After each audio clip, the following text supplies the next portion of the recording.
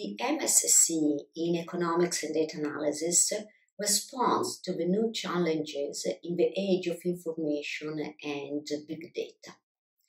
It offers deep knowledge in economics, market analysis, computational and statistical methods, machine learning.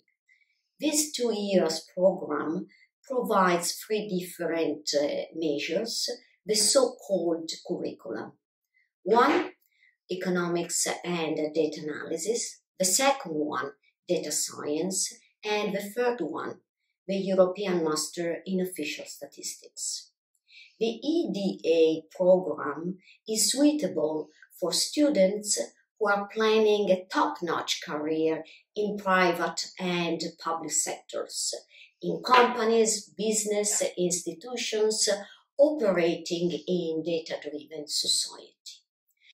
We are recruiting students with economics, management, political science, computer science, as well as engineering, math, and physics background. But we're really looking for students who are hardworking and very motivated to attend the course in a challenging environment.